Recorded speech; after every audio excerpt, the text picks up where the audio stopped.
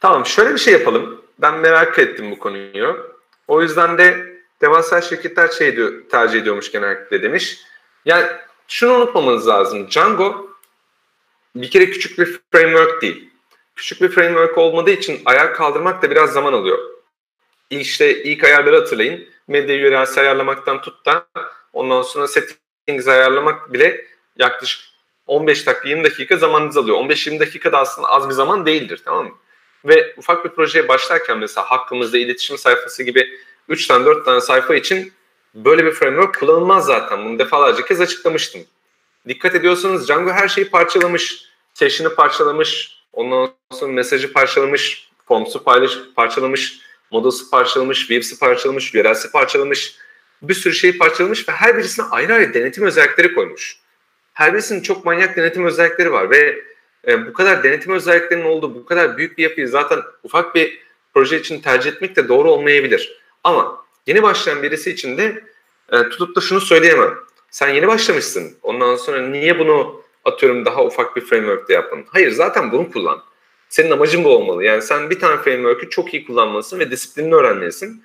Django'nun disiplini de çok güzel ve Django bir sürü disiplin veriyor. Bu yüzden de Django öğrenmek bence gerçekten büyük avantaj sağlıyor size. Ee, ama bu disiplinler içerisinde şunu yakalamak zor oluyor Türkler için. Ee, ben niye bu kadar disiplinli bir şey kullanıyorum? Yani yazsaydım kendim olmaz mıydı? Mesela bana halen gelen sorulardan bir tanesi. Biz niye Bootstrap kullanıyoruz ki? Kendimiz de yazardık zaten. Evet yazardın ama ee, yani bir dakika içinde yazabilir miydin?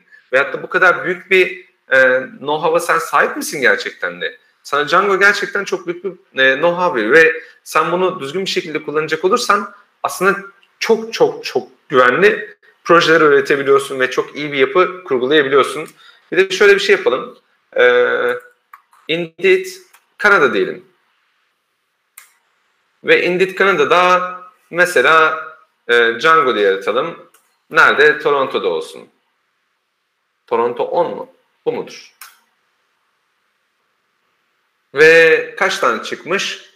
İşte 7000 doların üstünde 87 tane ilan varmış. Toplamda 102 tane ilan varmış.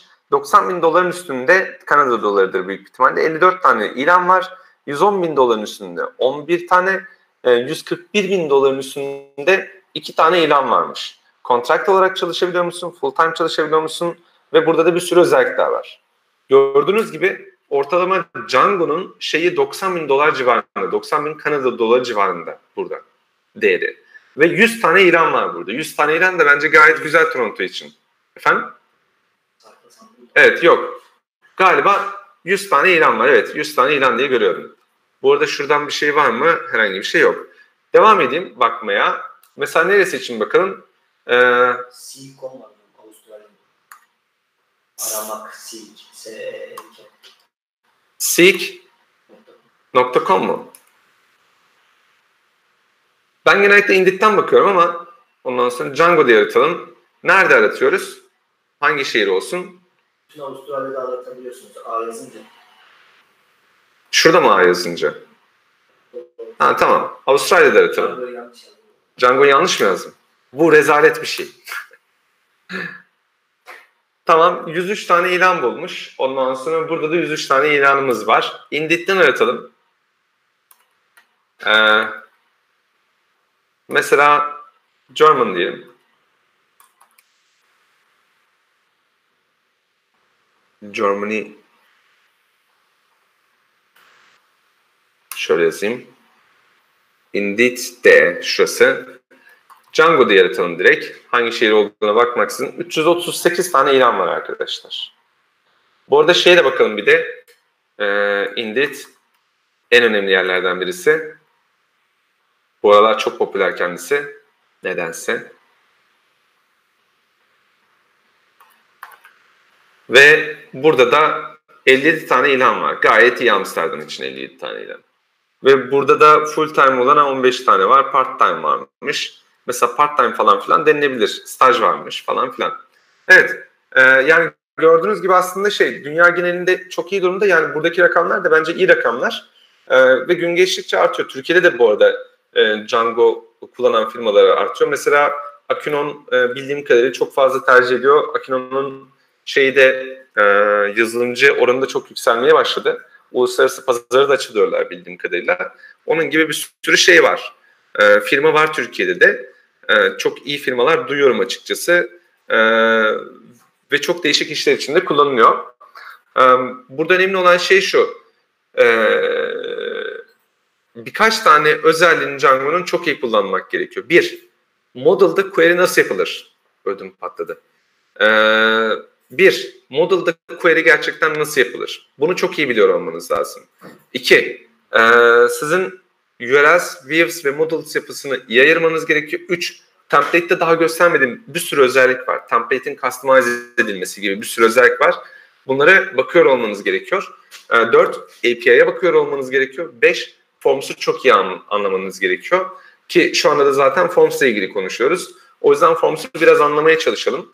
Ee, ve Forms'u biraz daha kullanalım. Şimdi Forms'ta yapmadığımız şey ne? Mesela Forms'ta şu anda create ettik ama update'i nasıl yapacağız? Buna da bir bakalım. Çünkü biz bir şekilde update yapmalıyız.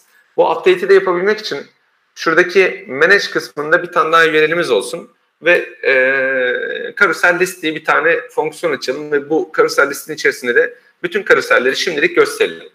Ee, ve daha sonradan da adama diyelim ki sen bu karuselleri bak ondan sonra hangisini düzenleyeceksen buna tıkla gir diyelim. Böylelikle düzenleme sayfasını artık oluşturabilelim. O yüzden geri geliyorum. Ve e, burada indeksin dışında işte bir tane daha şey yapalım. Neydi o? Karusel liste bir fonksiyon oluşturalım. Ve bu fonksiyonumuzda request'i çağırıyoruz ve request'i çağırdıktan sonra yani request'i istedikten sonra ne yapacağız? Diyeceğiz ki kontekstimiz olsun ve bu context dictionary olsun. Ee, ve umarım yazıyorsunuzdur bu arada sizde. Ee, çünkü yaza yaza devam edeceğiz. Ee, context dictionary olsun. Daha sonra return hemen şunu yazalım. Render request ne olsun başka? Şurada da yazdığımız gibi olsun. E, manage'in altında manage'in altında liste olsun. Ve daha sonra ne olacak? Konteksti göndereceğiz. Bunu gönderdikten sonra kontekstimizi artık oluşturalım. Kontekst ne yapalım? Karusellerim Nedir bu? Carousel nokta objects nokta ne diyelim? All diyelim. Hepsini birden getirsin. Bunu dedikten sonra bir tane daha şeyimiz olsun, yapımız olsun. Bu yapı da e, carousel edit olsun. Carousel update olsun veyahut da ismi. Define. Ondan sonra carousel update. Yine request. Ve ne olacak burada? Return render request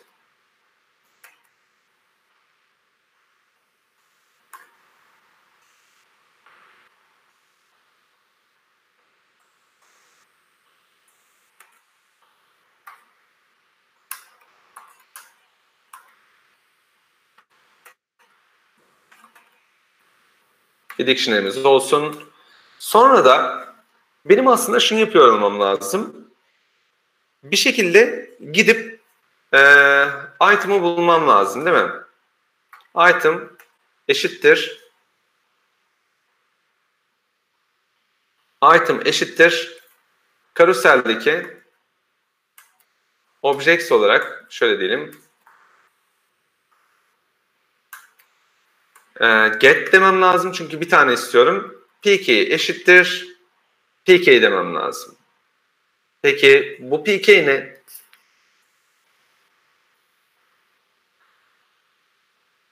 Update edeceğimiz e, Vallahi bayağı sesin geldi gerçekten bana kulağım delinde. Ee, güzel. Peki ben bunu nasıl alacağım? Doğru yoldayız. Request.post.get'ten alamaz mıyız hocam? Aa, benim şöyle almam lazım. Ee, bu request'i artık request ile birlikte gelen bir şey değil bu aslında. Bu yörelle gelen bir şey. Yani şöyle düşünün. Aslında adam şöyle yapacak. Mesela benim sitem işte neydi? kaft.com'du. kaftclone.com. Ondan sonra ne var? Manage vardı bunun içerisinde. Manage'in içerisinde karusel var.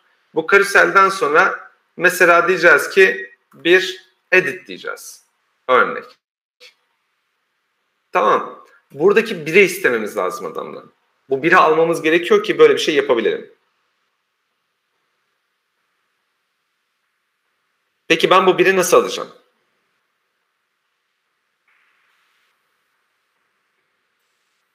Fonksiyona verelim, değer olarak alalım zaman. Kesinlikle öyle. Tek yapmam gereken şey buraya pk yazmak. Tamam çünkü içeride ben pk diye bir şey isterken en baştan dışarıdan söyleyeceğim. pk budur diyeceğim. pk budur dedikten sonra da olay kapanacak. Ama bu pk'yi sonuçta verebilmem lazım. O kısma birazdan bakacağız. Ben sadece şu anda fonksiyonumu yazdım. Dedim ki benim böyle bir fonksiyona ihtiyacım var. Sonuçta kontekst olarak da şimdilik bunu gönderelim item diye bir şey olsun ve bu item gönderdikten sonra da burada burada e, burada bu şekilde yazalım. Bu burada kalsın. Peki şimdi ilk önce şu listemizi yapalım. Listemizde bütün her şeyi ekranda görelim. Daha sonra da devam edelim. E, o zaman benim karusel list.html diye bir dosyaya ihtiyacım var. Dikkat ediyorsanız sol tarafı açık tutmuyorum genellikle kod yazarken. Çünkü ekranda görmeme gerek yok. Sadece bu tür durumlar için açıyorum. E, Macintosh'ta command ile birlikte B'ye basınca açılıyor ama siz de mesela kontrol ile birlikte B'yi deneyebilirsiniz. E, kontrol ile birlikte B veya da command ile birlikte B dedikten sonra burada neredeydi? Template'in içerisinde yapacaktım bu işlemi. Template'in içerisinde, manage'in içerisinde yapacağım. Sağ tuşa tıkladım ve bu dosyamı oluşturdum.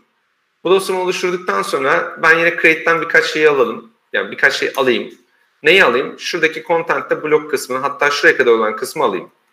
Bunu aldıktan sonra yapıştırdım. Bir de bunu kapatmam lazım tabii ki. Kapat, kapat, kapat. Başka bir şey? Başka bir şey yokmuş. Ondan sonra bunu yaptıktan sonra bir de e, end block diyerek burayı da kapatacağım.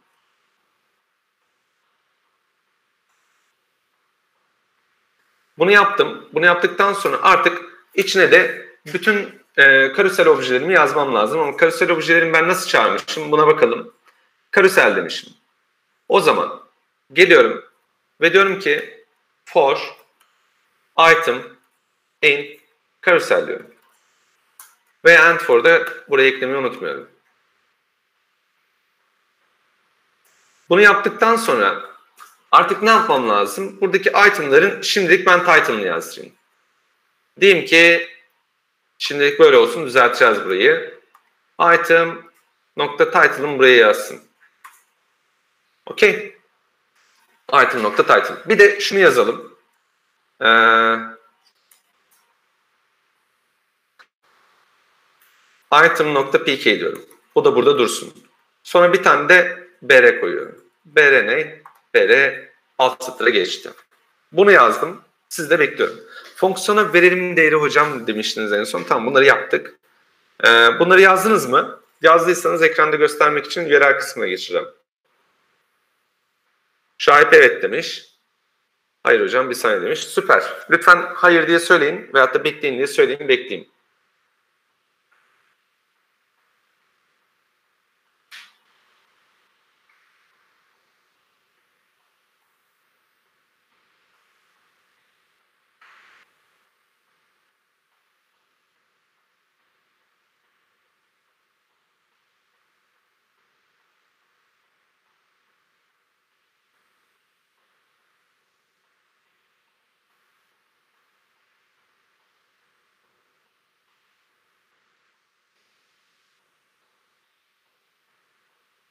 Harikasın Başak. Sen de yazmışsın.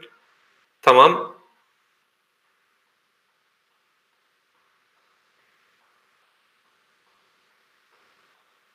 Tamamdır demiş İrfan. O zaman devam edelim. Şimdi bunu yazdık. Bakalım neler oldu. Ha, buna bakabilmek için sonuçta bunu URL'se URL kısmında göndermem lazım. O yüzden de page'deki URL'i açtım. Ve page'deki URL'i açtıktan sonra create bence şeyden ön, önce gelmemeli. Ee, gösterimden önce gelmemeli.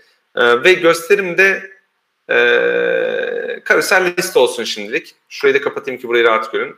Şunun kopyasını aldım. Bunun kopyasını aldıktan sonra bir de şurada e, tuple açtım.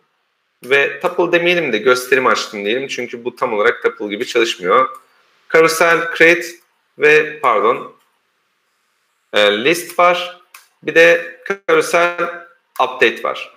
Böylelikle hepsini düzgün bir şekilde görebiliyor oluyorum. Liste alacağım. Buraya list dedim.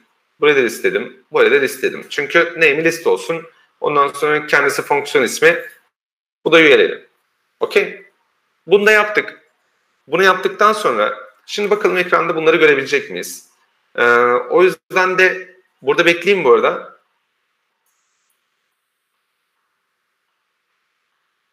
Bekle diyen var mı? Bekle diyen var mı? Bir. Bekle diyen var mı? İki. Bekle diyen var mı? Üç. Demek ki beklemiyorum. Peki devam ediyorum.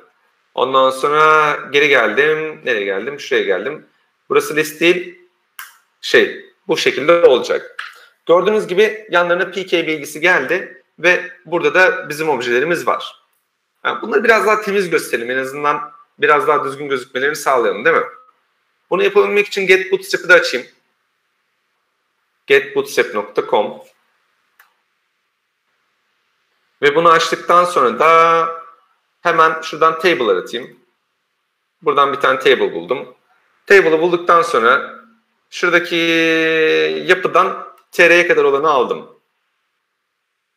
Bunu aldıktan sonra da getirdim. Neydi? List vardı. List kısmına şuraya yapıştırayım ilk önce. Bunu yapıştırdıktan sonra body'yi kapatmam lazım ve table'ı kapatmam lazım. Bunların hepsini slash yaparak direkt olarak kapattırabiliyorum. Ee, bunları yaptım. Bunları yaptıktan sonra şurada ne yazması lazım? Burada PK yazsın. Burada title yazsın. Burada imaj yazsın. Cover imaj. Burada ne yazsın?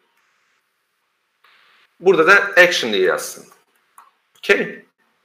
Bunları yazdım. Bunları yazdıktan sonra bir de şu kısmı, şuradaki tr kısmında for'la birlikte döndüreceğim. Aslında yapacağım şey bunu şuraya almak ve bunu da buraya almak. Çünkü ben buradaki kısmı döndürmek istiyorum. Şurayı da böyle yaptım. Buna da artık ihtiyacım yok ama yukarıda yazacağım tekrar. Birincisi, ee, şurası ne? Burası item.pk. Ondan sonra burası ne? Item.title. Burası ne? Item.image mı? Hayır. Power image mi? Peki bunu bu şekilde yazmam yetiyor muydu? Bu arada şuradaki açıklamalar kısmına da geleyim. Herkese bir göreyim. Hocam sonrasında burayı bir kopyalar mısınız aldığınızda? Ah, herkes kopyalama peşinde. Peki şimdilik bu böyle kalsın. Burada da action olacak. Buraya şimdilik bir tane a nokta btn diyorum. Ondan sonra ve btn btn primary diyorum. Ve buraya bir ds koyuyorum. Buna da edit diye yazıyorum. Tamam. Bu da burada kalsın. Bunları yaptıktan sonra ben bunu bir kitaba atayım. Hemen hızlıca oradan alın o zaman. Madem böyle uğraşmak istemiyorsunuz. Hoca yazsın biz de kopyalayalım diyorsunuz. O zaman kitaba atayım. Peki. Böyle eziklerim işte. e, git commit eksime e,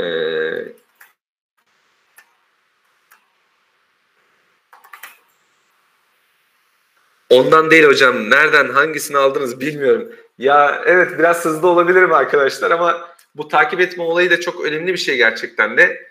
Ee, takip etme olayı ya, hakikaten şey gözünüzün ve kulağınızın ayrı ayrı işliyor olması gerekiyor. Ee, ki e, birçok şeyi birlikte yapın. Dikkat ediyorsanız bir sürü sekme açık bende. Her bir sekmenin ne iş yaptığını hatırlıyorum. Ondan sonra bir sürü tab açık Google Chrome'da. Hepsinin ne yaptığını hatırlıyorum. Ve hangi sekmede kaldığımı çok net bir şekilde hatırlayıp ona göre devam ediyorum. Ee, aynı zamanda bütün çalışma ortamını düzenlemeye çalışıyorum en baştan. Boşluklarımı düzenliyorum. Ne bileyim e, her şeyi yapıyorum. Bu arada benim N harfi bozuk arkadaşlar. Biraz e, dikkatsiz yazıyorum mesajları. Sıkıntı yok bizim için. E, aynı zamanda buradaki göz boşluklarıma dikkat ediyorum. Nefes boşluklarıma dikkat ediyorum. e, bütün her şeyi toparlamaya çalışıyorum elimden geldiğince. Çünkü ben ne kadar disiplinli yazarsam bu aynı zamanda ilerisi için o kadar önemli. E, o yüzden elimden geldiği kadar kendime e, özen gösteriyorum. Kendime özen gösteriyorum. Bunu unutmayın. E, ve aynı zamanda da şu var. E, buradaki açtığım sekmelerin hiçbirisinde çalışmak için özen göstermiyorum. Kontrol Evik'te P'ye basıp e, neye gideceksem ona gitmeye çalışıyorum. Bunların hepsi gözümü yormamak için ve elimin daha hızlı çalışması için kullandığım standartlar. Şimdi bunları yaptık. Bunları yaptıktan sonra bakalım neler oldu. Ee, ve bunları da zaten Gitpool'da göndermiştim. Sayfayı yeniledim. Bütün her şey geldi. Güzel oldu mu?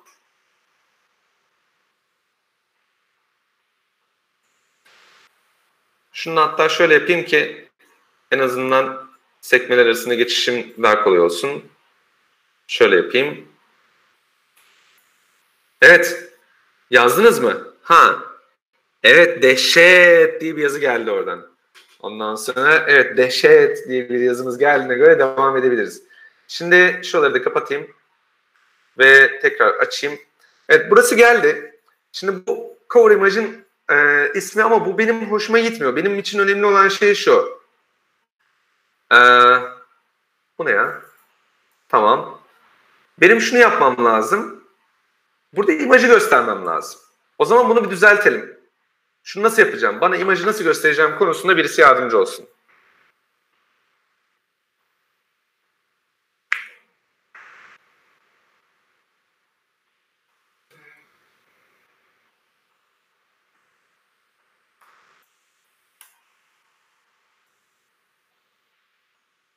İmajı nasıl göstereceğim? Yani evet de yani yazın şuraya ben nasıl olacaktı buraya imajı göstereceğim. Şurada yazamamışım düzgün bir şekilde.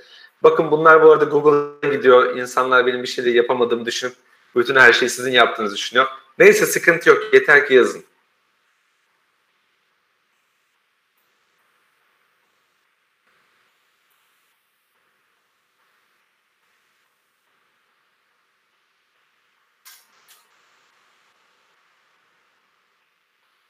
Hadi cevap.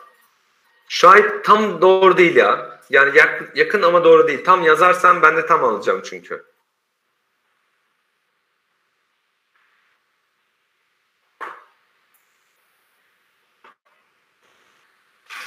Televizyon ekranı gibi izlemeyin. Evet. Güven yazmış. Harika. Ee, evet. Burada bu şekilde yazacağız. Bir şey eksik. Onu da yazınca görelim. Gayet güzel ama. Eline sağlık. Bunu yazdık. Bunu yazdıktan sonra şurada tırnağı da kapattım.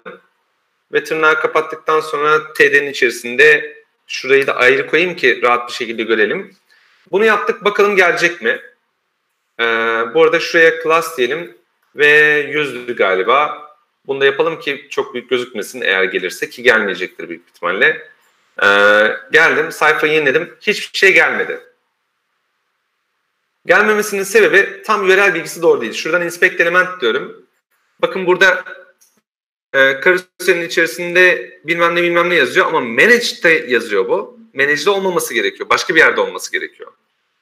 E, yani tam yerine baktığınız zaman lokal olsun altında manage'de gösteriyor. Hayır bu doğru değil.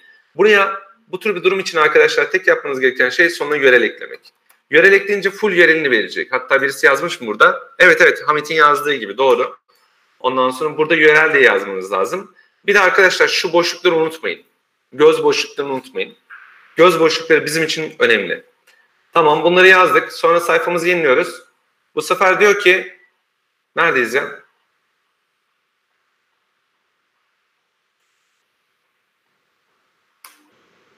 Ee, ha, çok enteresan bir hata veriyor. Bu hatayı anlayan var mı? Bu hatayı nasıl düzelteceğim konusunda bilgisi olan var mı? Value error hatası alıyorum şu anda.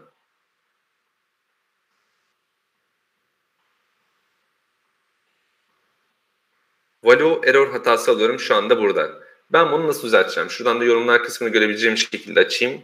Sıkıntı ne? Her seferinde başka bir sıkıntıyla karşılaşıyoruz ve bu karşılaştığımız sıkıntılar bizi geliştiriyor. O yüzden mümkün olduğunca bu sıkıntıları sizin çözmenizi istiyorum. Value error ne demek? İlk önce value error ne demek? Oradan başlayalım.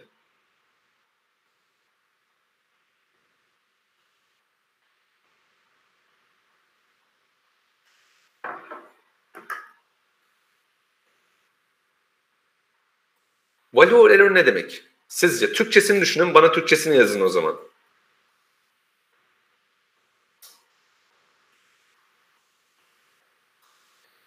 Güzel. Değer hatası demiş. Buradan Güven Altınsoy. Yanlış değer vermişsiniz diyor. Abi peki geri dönüyorum. Koda bakın. Buradan yörel yazısını siliyorum. Ve kaydediyorum. Ve tekrar açıyorum. Geldi. E, nasıl oluyor da yörel yazınca olmuyor? Onun peti mi yapsak? Bazılarında resim, güzel, bazılarında resim yok. Doğru cevap bu. Şimdi bazılarında resim yok arkadaşlar tamam mı? Resim yoksa onun yörel bilgisini gidip almaya çalıştığımız zaman sıkıntı oluyor. Ee, evet yönlendirme de yapamıyor aynı zamanda. Yönlendirme sıkıntısının zaten sebebi diyorsun ki olmayan bir şeyin yörelini getir bana. Olmayan şeyin yörelini nasıl getirecek? Olmayan şeyin yörelini bulamayarak. Tabi olmadı bu yorum ama siz beni anladınız. Şimdi peki benim neyi kontrol etmem lazım? Varsa getiririz o zaman hocam demiş. Eyvallah varsa getirelim o zaman. Ondan sonra ifle aa çok iyi çok iyi çok iyi çok iyi Özge yazmış. Tamam ifle yaparız ya. Ne var ki ne sıkıntısı olabilir ki bunun? Şunu diyebiliriz. Hatta burada imaj kısmında almak zorunda değiliz. Şöyle yaparız. Eğer ondan sonra item'ın item'ın cover imajı varsa Şöyle yazmam yetecektir büyük bir ihtimalle. Ve ne diyecektik? Kapatmamız lazım. And if diyeceğiz. Ha bu arada şunu yapabilir miyiz? Ee, şuraya da else diyelim.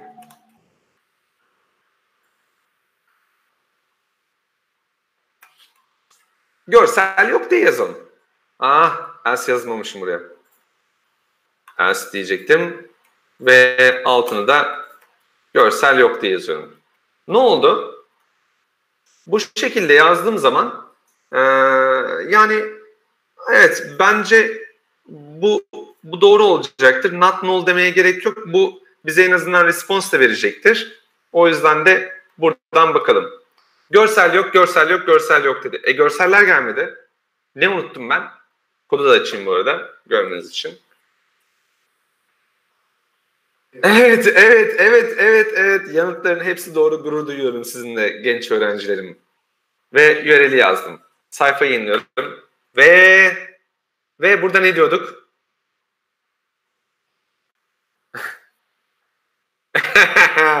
Hamit'in dediği gibi dehşet diyoruz. Şimdi şuradan da şu şeyi sileyim ya. Bir dakika. Screenshot var bir tanesinde. Şu screenshot'ı sileyim. Geldim içine. Ve ondan sonra da clear dedim ve delete dedim. Ha, delete demiyorum ya. No, take, save diyorum ve geri geliyorum. Sayfa inliyorum. Görsel yok diyor. Ya bu arada bu görseller e, yukarıdan aşağı başlıyor. Bunu ters çevirebilir miyim? Ters yazabilir miyim? Yani ters olarak gösterebilirim. Yani 7 yukarıda 1 altta olarak yapabilir miyim? PK ile demiş. Kesinlikle olur. Şöyle yapıyoruz. O Views'ın altından yapmamız gereken bir şey. Views'a geldim. Ondan sonra dedim ki order, order, buy mıydı bu? Sonra PK miydi? Eksi PK miydi böyle? Böyle miydi? Doğru mu yazdım? Evet demiş Özge. Teşekkür ederim Özge. Ondan sonra ve sayfayı yeniledim. Bu sefer e, görsel yok ama PK 7, PK 6, PK 5, PK 4, PK 3, PK 1 Hepsi burada gözüküyor. Peki şimdi ana sayfaya geri dönüyorum o zaman. Madem öyle ana sayfaya dönüyorum. Hatta şuradan döneyim. Localhost 8000 dedim. Birincisi geldi, ikincisi geldi, üçüncüsü geldi. Ondan sonra her şey yolunda mı bu arada? Aa, şuradaki indekse bakalım. Status published demiş. Ha şunları da düzelteyim bu arada. Admin'e geleyim. Localhost. Admin dedim. Ve admin'e geldikten sonra karusel kısmından şu 7'yi, 6'yı ve 5'i burada taslak değil yayınlandı yapıyorum. Sonra bunu da yayınlandı yapıyorum. Sonra bunu da yayınlandı yapıyorum. Ve tekrar ana sayfamı açıyorum. Sayfamı yeniliyorum. Birincisi var, ikincisi var, üçüncüsü var. Ondan sonra da bütün her şey gelmiş. Peki gerçekten kodda böyle mi? Kodumu açıyorum. Item, item, item diye gelmiş. Hakikaten doğru gelmiş bu arada. Çok şaşırdım. Statüsü published mıydı? Bunların da. Evet. Peki. Sayfa yeniliyorum. Hah işte gelmek istediğimiz yere geldik. Burada da hata alıyoruz şu anda. Bu hatalar olmasa bu eğitimin tadı çıkar mıydı arkadaşlar?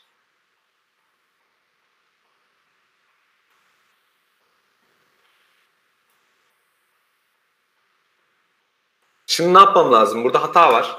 Hatayı da göstereyim. Şurada. Şimdi ne yapmam gerekiyor?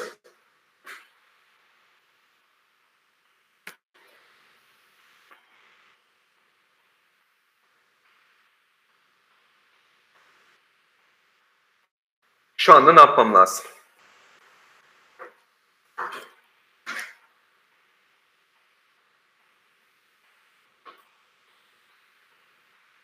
Evet. Demek ki kimse bugün kahve almamış ki. Herkes uyuyor. Aynı hata hocam demiş. Allah Allah. Ama yöntem bu sefer farklı. Şöyle Gökhan demiş ki aynı hata hocam demiş. Gökhan haklısın hakkını veriyorum sana. Ama sıkıntı şu. Şimdi liste, şuradaki liste e, if'le çözülemedi sanki. Burada ama if'le ilgili bir sıkıntı yok. Şöyle göstereyim. Kaçırdığınız noktayı ilk önce gösteriyorum. Burası manage altındaki karusel list kısmı. Tamam. Burası ise ana sayfa ve ana sayfada normalde karusellerin gözükmesi gerekiyor. Burada dikkatli bakın görsel yok, görsel yok, görsel yok. Görselleri olanlar görselli gözüküyor. Görseli olmayanlar burada gör, görseli yok diye yazıyor. Ama ana sayfada ise cover imajı olmayanlar da gelmiş. Şimdi aynı yöntemle çözebilir miyiz? Çözeriz ama niye böyle bir şey yapayım ki? Yani ben ana sayfada imajı olmayanları gösterme demek zorunda değilim ki. Benim Weave'ım var. Benim Weave'ım zaten şunu demeli. Ya ana sayfada görseli olmayanları gösterme çünkü burası admin değil. Buraya sen boşu boşuna değer gönderme demeniz lazım. Yani saksıyı çalıştırmamız gerekiyor buradan. Ana sayfaya olmayan bir şey göndererek niye biz boşu boşuna sistemi yoruyoruz? Tamam Yani görseli olmayan bir şey bir kere ana sayfada niye gözüksün karuselin içerisinde? Sıkıntı bu. Ben bunu nasıl çözeceğim? Yani aynı yöntemle çözülebilir ama bakış açısı bence farklı olmalı burada. Buradaki olay o.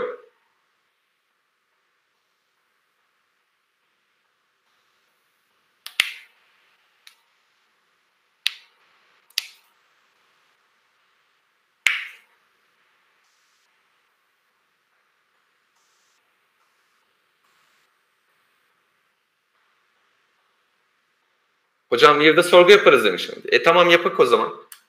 Resim yoksa XXX yap. Hayır. Ha XXX yaptan kastı aslında resim yoksa gösterme demeniz lazım. Yok hayır if içerisinde değil. Şimdi if şöyle düşünün arkadaşlar.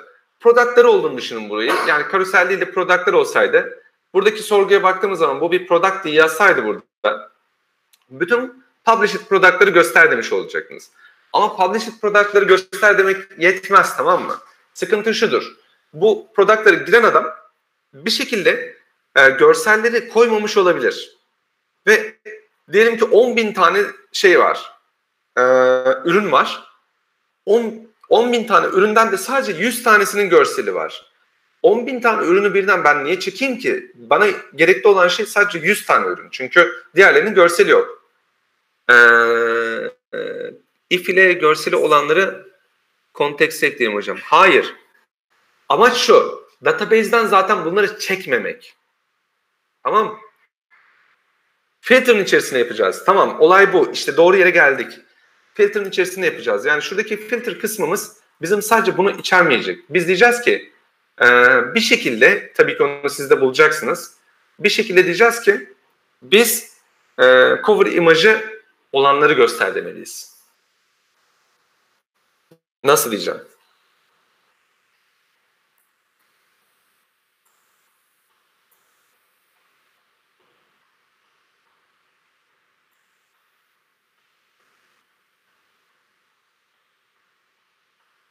Ses gitti hocam tekrar eder misiniz demiş Hamit. Tamam. Burada bir şekilde şunu dememiz lazım. Cover imaj var.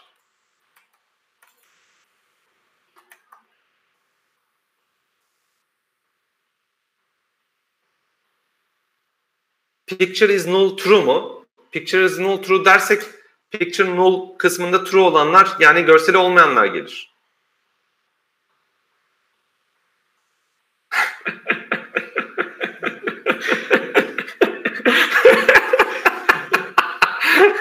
Ay. Peki. Şimdi bu tür durumlar için muhakkak Shell'den yararlanmayı öğrenmeniz lazım. Şimdi Shell'e geliyorum. Tamam. Şunu alıyorum. Ondan sonra rahat edeyim diye. Shell'e geliyorum. Shell'e geldikten sonra da diyorum ki e, publish it e, status status eşittir publish it diyorum. Sonra da e, Enter'a basıyorum. Burada diyor ki bu kadar objen geldi. Count diyorum. Count dedikten sonra 7 tane geldi diyor. Şimdi e, Güven diyor ki buraya diyor hocam e, cover imaj ondan sonra is is null böyle mi yazacağım? False mi yazacağım? Böyle mi? Böyle bir şey yok diyor. O zaman doğrusunu bulun. Bakın bu arada gördüğünüz gibi View'de yapmadım bunu. Shell'de yaptım. Shell'de yapmamın sebebi de e, burada hatayı hemen görebiliyorum. Boşu boşuna kodu gidip yazıp da bakmam gerekmiyor.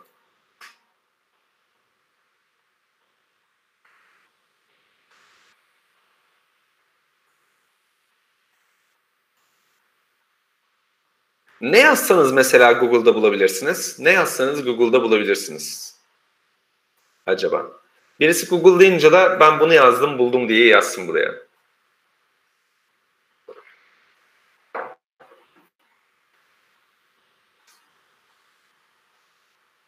Evet.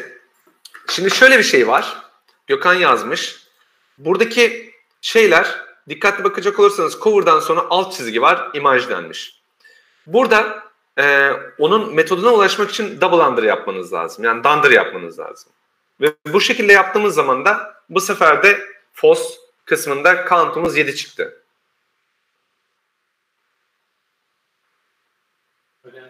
Hı? Tamam. Ama count yine 7. Yani şuradan bakalım. Şunun count'u da 7. Bunun count'u da 7. Ops. Şunun count'u 7. Ee, bu değil. Bu. Bunun count'u da 7.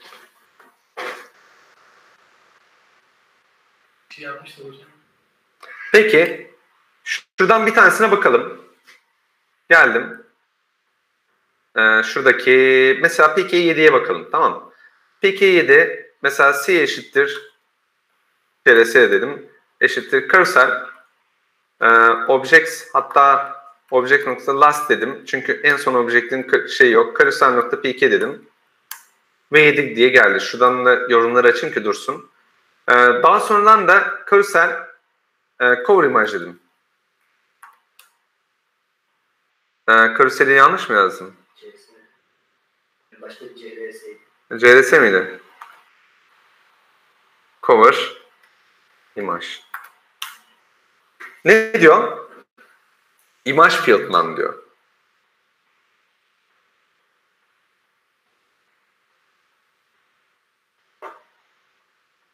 O zaman bunu bir şekilde bulmamız lazım. Nasıl bir şey olacağını.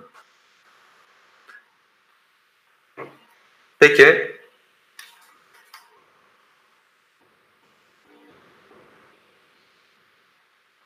Aa, İrfan. Çok bayağı bir şey. Image Objects Filter e, kategori cover. Hmm, çok bayağı bir derin yerlerdesin. Olay bayağı bir karıştı. Peki. Acaba şöyle diyebilir miyiz? Şuradan da bakalım.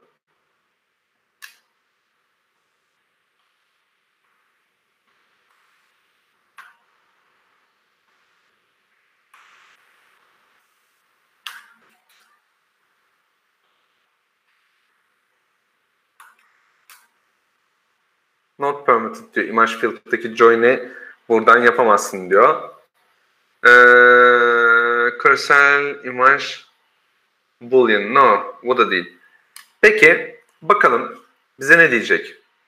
Diyorum ki Django filter image field none.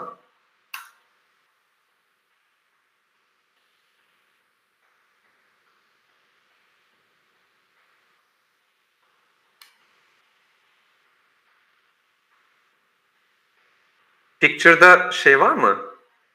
Ee, is null true demiş. Bu olmuyor zaten. Ondan sonra ee, not null diyelim.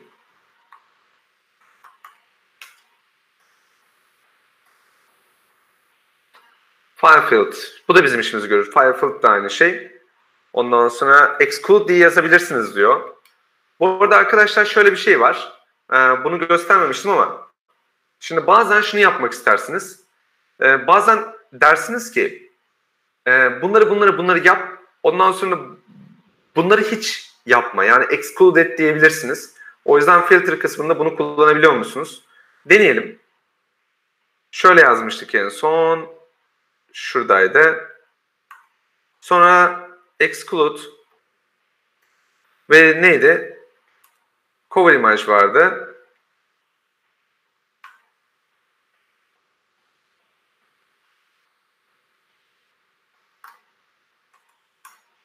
Ve içi boşsa diye yazdım. Sonra da count diyorum. Bu sefer ne çıktı? 3 çıktı. Şuradan yorumları da açayım. Ee, true ama hocam aldım demiş birisi. Hocam Yok. bu içinde olanlar değil mi? Üç tanesini Ödememi patlattın ya. Ee, e, şu anda doğru döndük bu arada. Exclude şunu yapıyor işte. Ee, sizin şeyde e, gidiyor ve filtrede verdiklerinize bakıyor. Ondan sonra diyorsunuz ki filtrede ben published olanları istiyorum ama onun dışında kafadan bunları hiç istemiyorum diyorsunuz.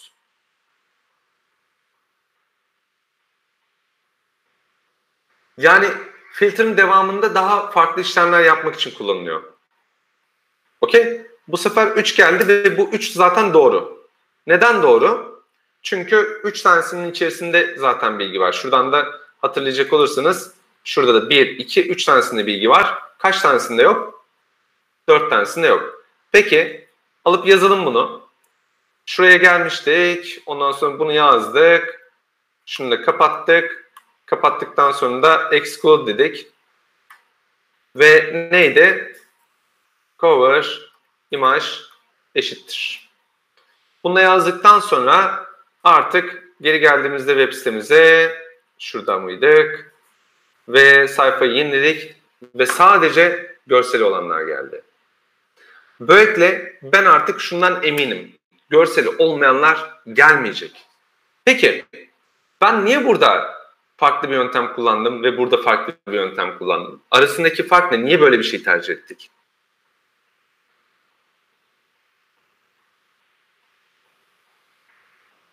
Bir tanesini exclude ettim. Birinde gelen datayı ayıkladık demiş Güven. Mesela şu kısımda e, indekste yani ana sayfada gelen datayı ayıkladık ve dedik ki cover imajı olmayanları hiç gösterme. Diğerinde doğrudan veri tabanından istediğimiz veriyi çektik. Şimdi bakın arkadaşlar bir kere şunu unutmayın. Bu kullanıcının gördüğü kısım.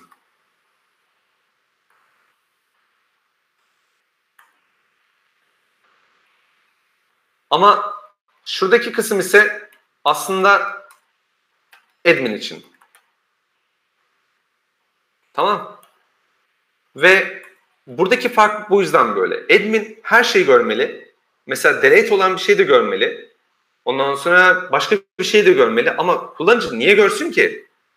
Kullanıcı sadece ona gerekli olan şeyi görmeli. Gerekli olmayan hiçbir şey görmesine gerek yok. Yani nasıl bir sözse bu artık.